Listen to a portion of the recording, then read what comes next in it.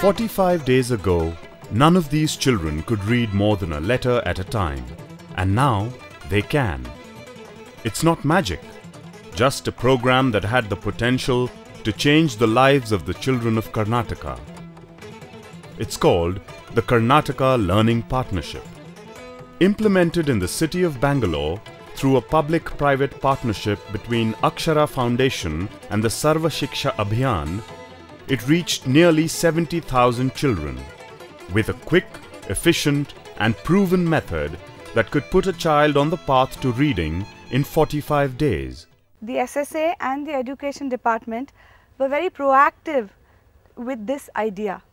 That's how the Karnataka Learning Partnership as a banner was born. In consultation with stakeholders, it was decided that Akshara would facilitate teacher training and develop content, and the government would ensure execution and monitoring. By the start of the school year, 4,350 teachers had been trained and the program was ready to go. From the beginning, technology played a vital role in gathering information and evaluating progress.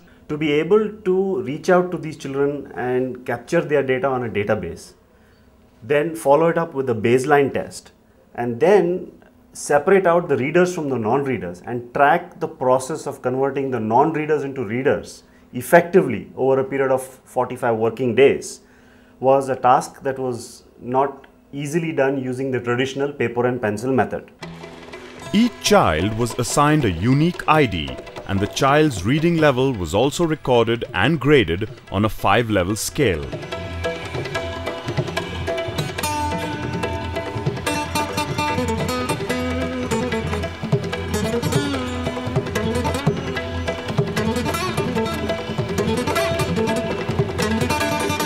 Having already gathered data on schools and children, it then became possible to monitor progress and do a snapshot of the program on a specially created website every 15 days. A process which caught the attention of all the stakeholders teachers, parents, media, and the public at large. Under Karnataka Learning Partnership Program, our children who are unable to recognize words or sentences are now able to read sentences fluently. The result of the combined efforts of the government, 4,350 teachers, and hundreds of committed volunteers is this. Across Bangalore urban district, 64% of the children who were in the non-reader category have now become readers, and 95% of the children showed movement up the reading scale. The government primary school system in Bangalore today has about 4,350 teachers who have been trained in implementing the program. These skills have now become institutionalized.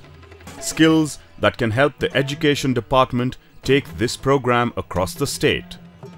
If a journey begins with a single step, this was the start for the children of Karnataka.